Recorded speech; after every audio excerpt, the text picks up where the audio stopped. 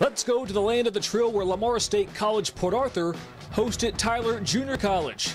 This is Tyler, and that is 6'10 sophomore Isaac Aguiar from way downtown. Okay, big fella. Then is Scott Turner. He'll take a three. Scott Turner will hit a three. The Apaches would continue to dominate the Seahawks throughout the first half, then go up by 29 early in the second.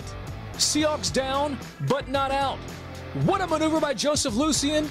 The former West Brook stand-up would have finished with a team-high 18 points and 6 rebounds. More from the Seahawks. Desmond McQueen tees one up from three and buries it. Seahawks still throwing haymakers.